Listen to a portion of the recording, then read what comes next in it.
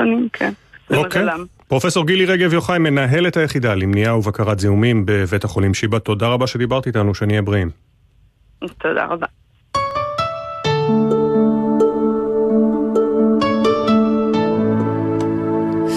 מכאן לקליפורניה, שם הטמפרטורות שוברות שיאים, ובצעד קיצוני למדי, החשמל במדינה מושבת. האם שינוי הטמפרטורות הקיצוני שמביא עמו משבר האקלים יורגש בקרוב גם אצלנו? האם הוא ישפיע על צריכת החשמל כאן בארץ?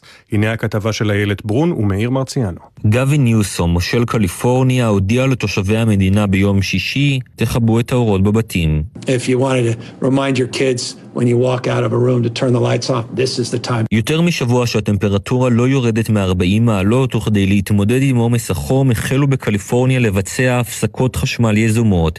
אמיר, ישראלי שחי במדינה, מספר שההתמודדות עם ימים שלמים בחשיכה לא פשוטה. בשבוע האחרון היה משהו כמו 40-43 מעלות אה, צלסיוס. חברת החשמל פשוט אה, ניתקו את הזרם. ביום שבת אה, אכלנו סנדוויצ'ים לארוחת ערב, כי אי אפשר לחמם שום דבר, ופחות או יותר לא רוצים לפתוח את המקרר, כי לא ידענו עד איזה שעה זה ייגמר. וגם כאן בישראל הרי חם לא פחות. איגור אהרנוביץ' מחברת חשמל אומר שהשנה, בניגוד לשנים קודמות, אין סיבה לדאגה. עם ישראל לא צריך להיות מודאג בקיץ הנוכחי. המשק השתנה מאז הפעם האחרונה שביקשנו מהתושבים להסיט את החשמל. אני חושב שמה שקרה בקליפורניה בימים דומים, כרגע בישראל לא עלול לקרות וניתן ליצור חשמל בלי הגבלה. גם במשרד האנרגיה לא ממש מודאגים ואומרים כי הפסקות חשמל יזומות עברו מן העולם.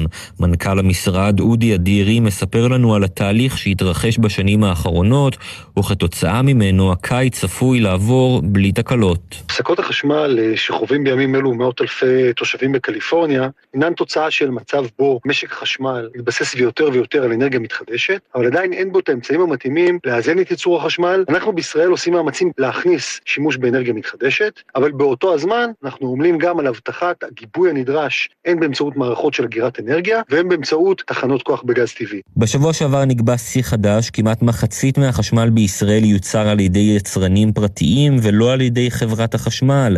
כשייצור החשמל והביקוש עולה, נקווה שכאן בישראל הקיץ יעבור ללא תקלה.